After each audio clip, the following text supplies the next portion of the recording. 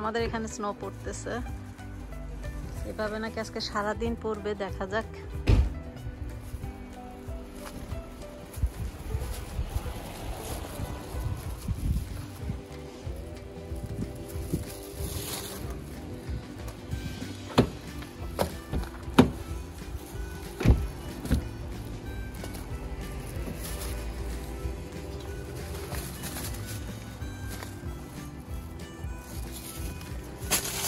আমি এখন কাজের থেকে বাসায় যাচ্ছি।